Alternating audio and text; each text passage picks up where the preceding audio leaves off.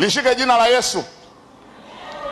Sasa hivi sasa inatoka kwenye kitambaa cha upako, inatoka kwenye chupi, chupi, chupi za upako, sijui mafuta ya upako, inaendelea hivyo hivyo, dawa za mbu za upako, petroli ya upako. Sasa hivi imekuja nyoka wa upako,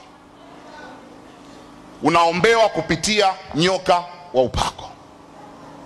Na kuonyesha kanisa hili, mchungaji huyu ametangaza ibada na kwamba sasa hivi kumbe hata hawa nyoka wana upako, Mungu kawapaka upako, na amekuja na nyoka anasema, ambaye hajamtoa sumu, kwa sababu ukimtoa sumu ni imani dhaifu. Inabidi utafute nyoka mkali mwenye sumu kali, alafu ndio aje atoe upako bila kuang'ata watu.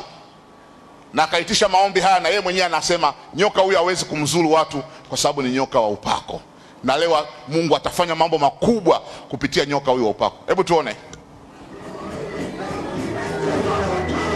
Mchungaji yuko madhabahuni anaomba na wazee wa kanisa na wahudumu wakimsaidia, kila mmoja anashika, anaambiwa shika huyu nyoka, akugongi wala nini, ni nyoka wa upako, na Mungu anamtumia, atafanya makuu kupitia nyoka huyu, na watu bado wanamwabudu, wana- wanaabudu, wanakubali.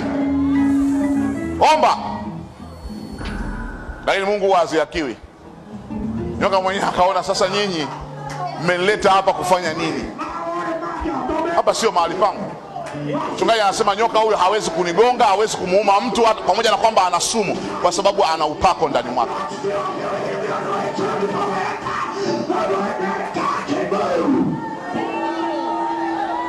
Nyoka akasema mimi siko kwa kazi hiyo. Akaanza na mchungaji huyo aliyekuwa anasema huyu hawezi kuuma, akamgonga mchungaji, na mchungaji akasema hata kama nimegongwa, msiogope hii sumu haiwezi kwenda mahali popote, wala haiwezi kufanya kitu chochote, kwa sababu ya nguvu ya Mungu niliyonayo.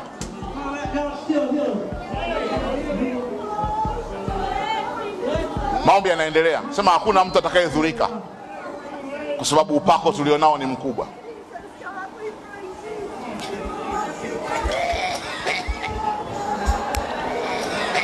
Miujiza ya shetani haichukuagi laundi. Huyu hapo dakika chache tu yule nyoka uliokuwa anasema wa upako hawezi kukuzuru, hawezi kufanya nini, hawezi kufanya nini, tayari.